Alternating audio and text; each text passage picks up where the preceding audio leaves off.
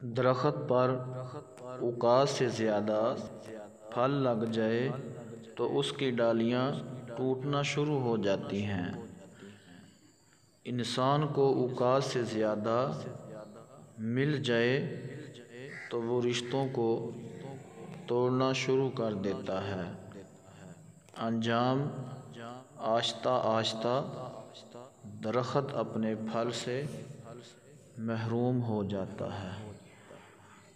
नाजरीन अगर ये वीडियो अच्छी लगे तो इसको ज़रूर शेयर करें।